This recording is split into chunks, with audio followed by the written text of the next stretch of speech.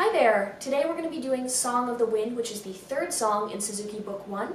I'll play it for you first so you can get a sense of what it sounds like, and then we'll talk about any tricky sections, and then I'll show you a close-up of my fingers so you can see what's going on there. Here we go.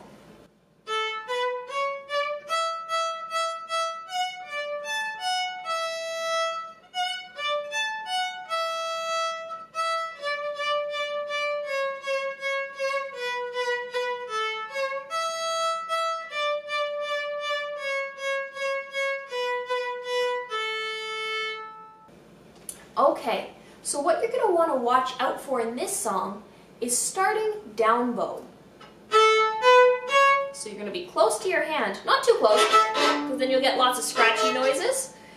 So start maybe two three inches from, from the bottom of your bow, and that's going to be close enough to your frog that you're going to get a nice long down bow. All of the notes are fairly even in this one, except for the end of the lines where we have those half notes. So those are really long, and we have to make them feel really long. Really long. Really long. So we have to hold them for their entire length. What I see with a lot of people is they cut them really short. They go... And that's not what's written. We need to hold those notes for their full value. Other than that, what you want to watch for is staying mostly in the middle your bow and either not using too much bow, but and not using too little bow. We don't want little mice. Because that doesn't sound very good either. We want kind of nice medium-sized bows, except for those really long ones where we want to travel the whole length of our bow.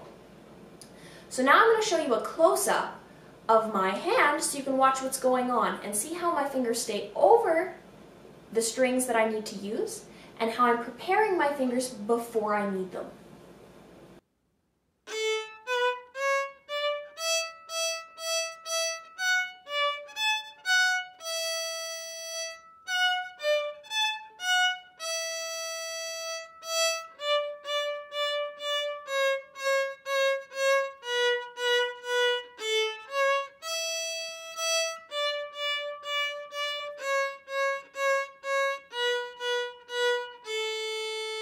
So with this one, you're going to want to watch one thing in particular.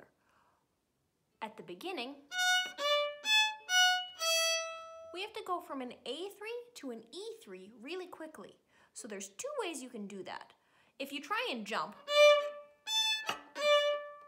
that takes too long. So what you can do is either rock your finger back and forth from your third tape on the A to the third tape on the E, or you can just flatten your finger across both strings, whichever is easier for you. So that's the easy way to get across from the A string to the E string without having to hop your finger. So I hope you enjoyed playing Song of the Wind. If you have any trouble, any questions, any problems that you're having playing it, please leave a comment down below. I'd be happy to get back to you and either address it in the comment section or in a separate video that I can do up for you.